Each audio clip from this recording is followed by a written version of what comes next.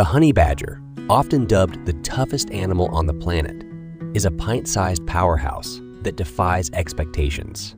Native to Africa and parts of Asia, this fearless creature stands just a foot tall, yet it's renowned for taking on adversaries many times its size.